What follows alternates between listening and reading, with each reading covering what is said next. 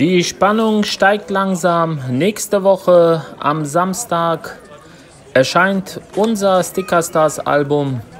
Herzlich willkommen, liebe Fans und Freunde von Türkgü Johanau, zu unserem heutigen Heimspiel gegen SG Rosenhöhe. Unsere Aufstellung: Schlüssler, Netzband, Korkmaz, Ölmes, Alawi, Selçuk, Mustafa, Ünal, Müller, Yücel und Shima.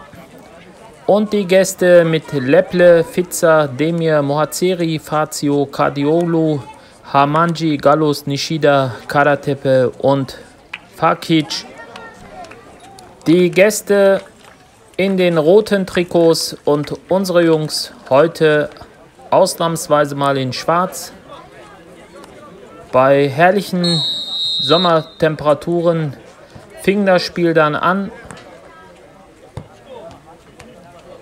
SG Rosenhöhe befindet sich ja im gesicherten Mittelfeld und wir mussten ja unsere Aufstiegsträume begraben. Aber dennoch war es ein munteres Spiel. Hier die erste Chance durch Tilfakic und Serjan Schlüssler im Tor kann den Ball dort festhalten. Dann Mohamed Alawi die ersten Versuche dann auf unserer Seite. Dann ein Freistoß durch Berkay Hamanji.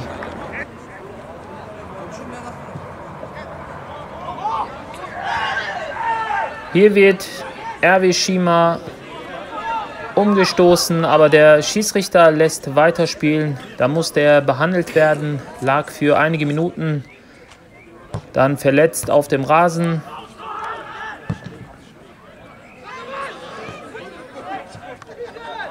Und hier eine dicke Chance für Rosenhöhe. Fakic trifft den Ball nicht richtig. Und auch im Nachschuss Cardiolo ganz, ganz große Chance, aber Serjan Schlüssler im Tor kann parieren. Und dann nochmal ein Kopfball für Rosenhöhe. Sie machten mächtig Dampf in diesen Minuten. Dann hörte man einen Pfiff. Der Schießrichter zeigt auf den Punkt 11 Meter. Was war passiert? Wir sehen das hier nochmal. Halil Korkmaz kommt mit beiden Händen an den Ball. Es gab auch keine Proteste und Hamanji mit dem 1 zu 0 keine Chance für Serjan Schlüssler. Aufgrund der Chancen war das dann doch verdient. Wir kamen nicht so richtig ins Spiel. Dann aber ein Freistoß durch Halil Korkmaz und Mohamed Alawi mit der ersten nennenswerten Chance. Aber die vergibt er. Und jetzt warten unsere Jungs so langsam auf. Dann nochmal Alawi. Aber Leple im Tor kann hier klären. Dann bekommt hier Murat Selçuk den Ellenbogen des Gegners in sein Gesicht. Das sah der Schießrichter nicht. Hier eine Flanke von Tim Müller, aber wir hören schon den Pfiff. Der Treffer von Hassan Mustafa zählt nicht. Dann nochmal Halil Korkmaz und Hassan Mustafa erneut. Aber der Ball wird zur Ecke geklärt. Zur Abwechslung dann mal wieder Rosenhöhe. Aber Justin Netzband kann klären. Hier Hassan Mustafa setzt sich da super durch. Eigentlich ist der Ball schon geklärt, aber da ist Samet Ünal. Und auch Alawi kann den Ball da nicht ins Tor befördern. Damit geht die erste Halbzeit an Rosenhöhe. Und hier nochmal der wichtige Termin. Hier unsere Legenden nochmal. Also nächste Woche Samstag gibt es unser Sammelalbum im Rewe Center Hanau-Lamboy unbedingt dabei sein. Und in der zweiten Hälfte legten wir dann richtig los. Einige Chancen hier, der Schuss von Alawi wird zur Ecke geklärt. Dann gab es auch gute Spielzüge von uns. Hier Kerem Yücel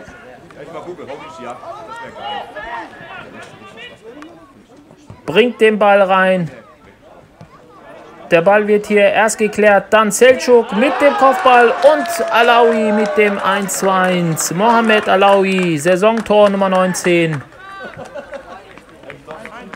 Und auch hier stark gemacht von Murat Selçuk. Er bringt den Ball nochmal rein und dort steht Mohamed Alawi.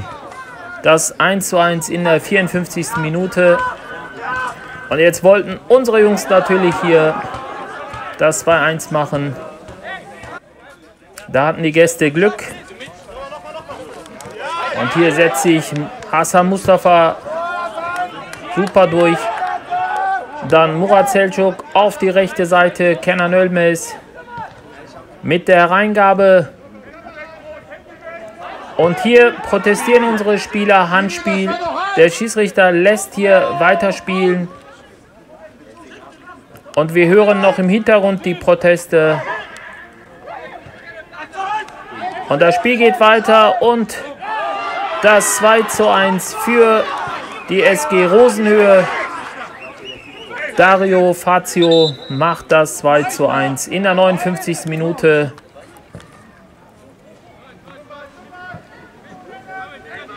Und hier eine starke Aktion von Alawi.